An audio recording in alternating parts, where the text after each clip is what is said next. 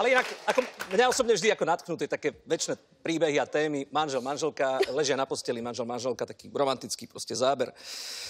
A tá žena vraví tomu mužovi, že keby si vyhral 100 tisíc eur v lote, čo by si robil? Neviem, a ty?